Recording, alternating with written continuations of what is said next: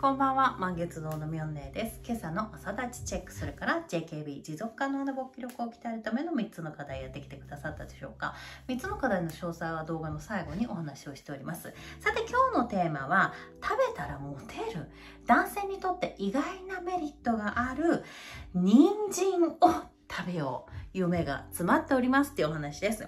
えー、今ね、お野菜美味しいですよね。栄養たっぷり入ってるお野菜なんですが、その中でも男性におすすめしたい野菜が、そう、さっきも言いました、人参さんです。人参さん嫌いな子いますか？ちゃんと食べなきゃダメですよ。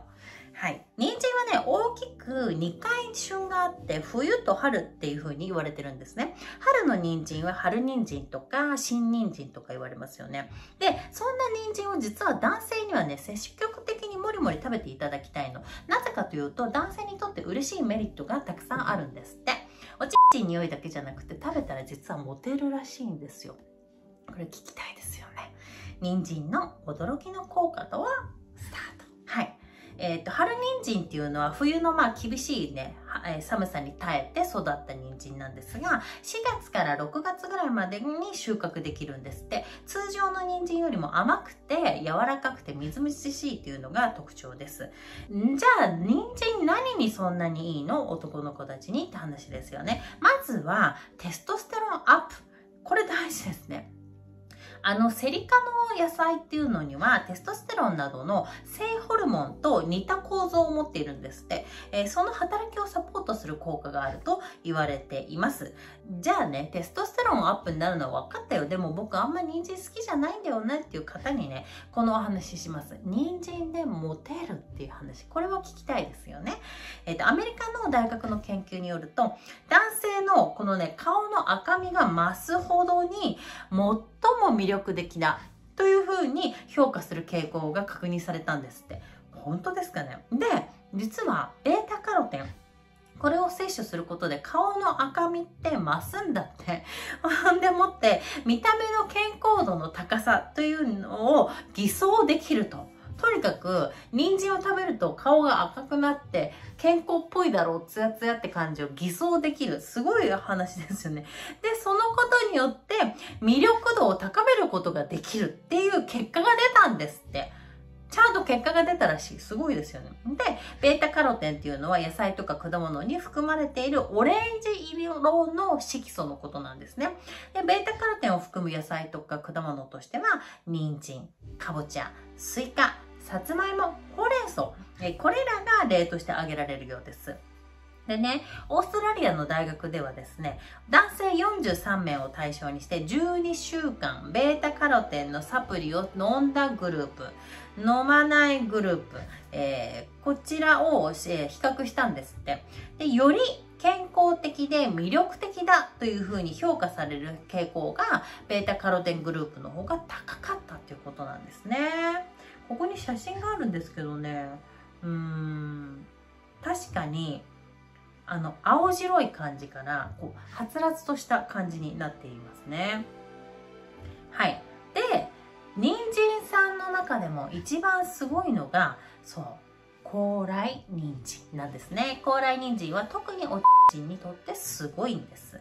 高麗人参は2000年以上前から競争剤、滋養競争剤として利用されてきた漢方です。成分の中で特徴なのは、ジンセノサイドというサポニンの一種なんですね。肉体的、そして精神的に疲労回復を促すというふうに言われております。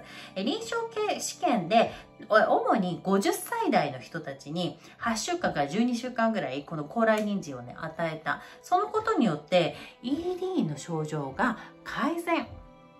こういうふうに報告があります。えー、多くはね、えー、高麗人参の産地って大体韓国が多いので、韓国の研究結果になっているようです。ということで、男の子たちには人参が大切だよっていうお話でした。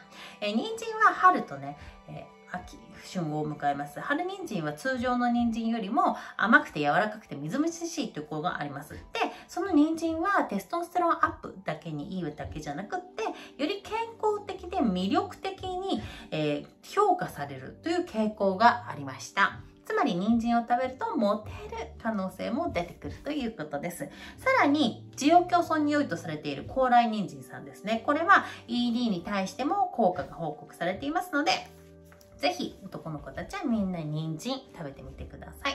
嫌いだって残しちゃダメですよ。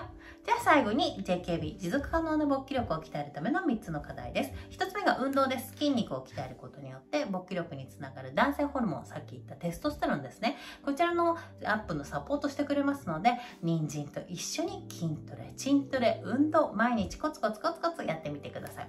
2つ目が生活習慣の見直しです。食生活、ストレス、睡眠なんかですね。今日お話した人参などもそうですが、それとサプリ摂取すると良いかもしれません。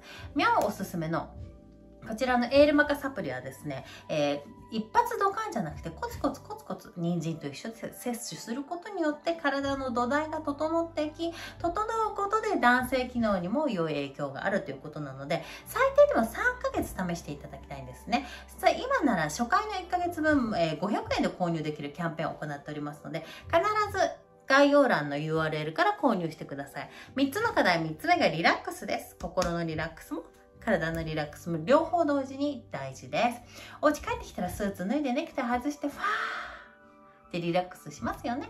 それと一緒でパンツもピチピチパンツからお家にいる間だけでもふんどしパンツでリラックスしてみてください。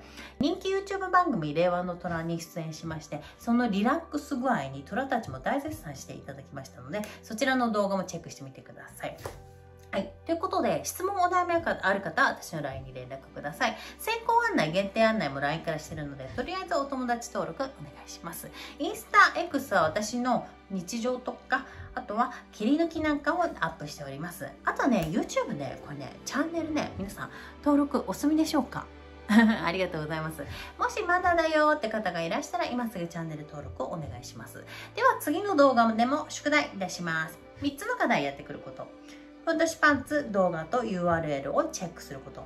サプリ URL チェックすること。そして YouTube チャンネル登録すること。すべての URL は概要欄にまとめて書いております。